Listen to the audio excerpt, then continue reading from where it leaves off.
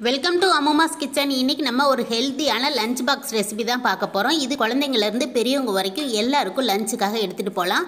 இது வந்து நம்ம எப்படி செய்கிறதுன்னு பார்க்குறதுக்கு முன்னாடி நம்ம சேனலை இன்னுமே நீங்கள் சப்ஸ்கிரைப் பண்ணாமல் பார்த்துட்டு இருந்தீங்கன்னா இப்போ சப்ஸ்கிரைப் பண்ணிடுங்க பக்கத்தில் இருக்கிற பெல் பட்டனை மறக்காமல் கிளிக் பண்ணுங்கள் அப்போ தான் நம்ம போடுற வீடியோஸ் எல்லாம் உங்களுக்கு நோட்டிஃபிகேஷனாக வரும். வாங்க வீடியோக்குள்ளே போகலாம். இன்றைக்கி நம்ம கொத்தமல்லி சாதம் தான் செய்ய போகிறோம் அதுக்காக வந்து நான் ஒரு கட்டு கொத்தமல்லி எடுத்திருக்கேன். நல்லா சுத்தம் பண்ணிவிட்டு காம்புகளோடு வச்சுருக்கேன். நீங்கள் வந்து சின்னதாக நறுக்கணும். அந்த காம்பெல்லாம் தூக்கி போடணுங்கிற அவசியம் கிடையாது. ஏன்னா இதை நம்ம அரைச்சிட்டு தான் செய்ய போகிறோம் இது வந்து நல்லா ரெண்டு பேர் சாப்பிட்ற அளவுக்கு சாதத்துக்கு கலர்றதுக்கு சரியாக இருக்கும். இப்போ வந்து இதை நம்ம அரைச்சிக்கலாம். அரைக்கிறதுக்கு என்னென்ன பொருள் வேணும்னு பார்க்கலாம்.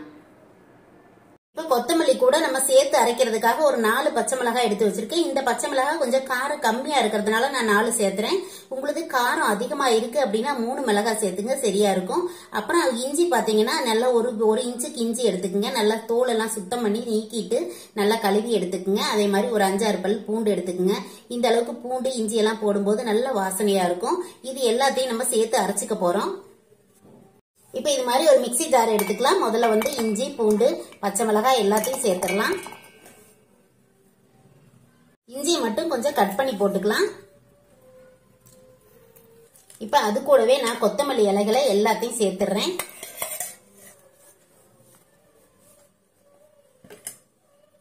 இப்போ இதை வந்து நம்ம ஒரு பேஸ்ட் மாதிரி அரைச்சிக்க போறோம். அதனால கொஞ்சமா தண்ணி விட்டுக்கலாம். அப்புறமா மூடி வச்சு நல்லா அரைச்சிட்டு வந்துடலாம். இப்ப கொத்தமல்லி சாதம் செய்யறதுக்காக கடாய் வச்சிருக்கேன். கடாயில தேங்காய் போட்டுக்கலாம். தேங்காய் செய்யும் போது வாசனையும் டேஸ்டும் நல்லா இருக்கு. இந்த தேங்காய் நீங்களும் செஞ்சு பாருங்க. இல்ல அப்படின்னா நீங்க எந்த ஆயில்ல செய்வீங்களோ அதையே செய்யலாம். இப்ப ஆயில் நல்லா சூடானோடனே அரை டீஸ்பூனுக்கு கடலைப்பருப்பு சேர்த்துக்கலாம். அது கூடவே ஒரு அரை டீஸ்பூனுக்கு உளுத்தம் பருப்பு ஒரு ஒரு டீஸ்பூன் அளவுக்கு சேர்த்துக்கலாம். அந்த அளவுக்கு சேர்த்தும் போது நல்லா இருக்கும். கூடவே ஒரு அரை டீஸ்பூனுக்கு கடுகு. இப்போ கடுகு கடலைப்பருப்பு எல்லாம் நல்லா பொறிஞ்சு வரணும். அதுக்காக நம்ம போட்டு விட்டுட்டு நல்லா செவக்கிற அளவுக்கு வதக்கி விடலாம். கடுகு நல்லா வெடிக்கணும். எதுவுமே வந்து நல்லா கடுகு கடலைப்பருப்பு எல்லாமே ப்ராப்பராக நல்லா வெடித்து நல்லா பருப்பெல்லாம் பொறிஞ்சு வந்தாதான் நம்ம எந்த ரைஸ் பண்ணாலுமே வெரைட்டி ரைஸ் ரொம்ப ரொம்ப சூப்பராக இருக்கும். கடுகு நல்லா வெடித்து பருப்பெல்லாம் செவந்து வந்ததுக்கப்புறம் ஒரு கொத்து கருவேப்பிலையும் ஒரே ஒரு வரமிளகாவும் சேர்த்துக்கலாம். இப்போ கூடவே ஒரு நாலஞ்சு முந்திரி பருப்பு. நீங்க முந்திரி பருப்பு சேர்க்கலன்னா வேர்க்கடலை கூட சேர்த்துக்கலாம். ரொம்ப நல்லா இருக்கும். இப்ப கொஞ்சமா வேர்க்கடலை. வேர்க்கடலையை தோல் எடுக்கணும் அப்படின்னா எடுத்துக்கோங்க. நான் தோல் எடுக்காம தான் சேர்த்துறேன் இது எல்லாத்தையும் சேர்ந்து நல்லா பொரியிற அளவுக்கு கலந்து விட்டுறலாம்.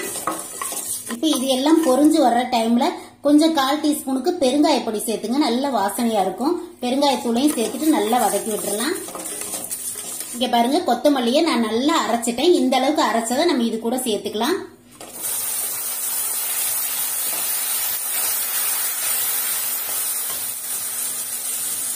இப்ப இந்த சாதத்துக்கு தேவையான அளவுக்கு உப்பு சேர்த்துக்கலாம். நான் சாதத்துக்கு உப்பு சேர்த்து வேக வைக்கல. அதனால வந்து நான் இந்த அளவுக்கு உப்பு எடுத்துக்கிறேன். நீங்க சாதத்துல உப்பு சேர்த்துருக்கீங்க அப்படின்னா கொஞ்சமா குறைவா சேர்த்துக்குங்க.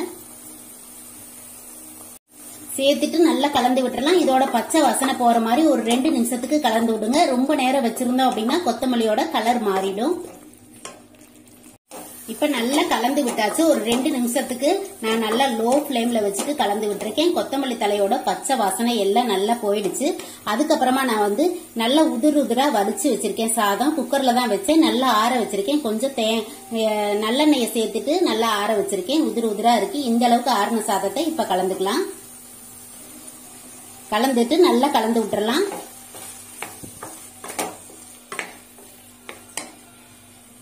இப்ப நல்லா எல்லாம் கலந்து வர்ற மாதிரி நல்லா சேர்த்து கலந்து விட்டுருங்க. இப்போ நான் இதில் ஒரு கப்பு சாதம் எடுத்திருந்தேன். இந்த ஒரு கப்பு சாதமும் நான் அரை கைப்படி கொத்தமல்லி தலைக்கு சரியா இருக்கு பாருங்க.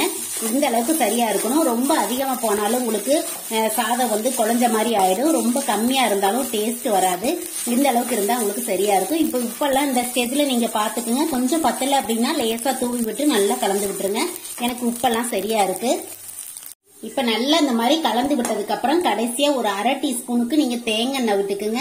நான் தேங்காய் இன்னைக்கு செஞ்சதுனால தேங்காய் விடுறேன். நீங்க தேங்காய் செய்யாம ஏதாவது நெய் ஏதாவது ஆயில் போட்டிருந்தீங்கன்னா கடைசியா நெய் போட்டுக்கலாம்.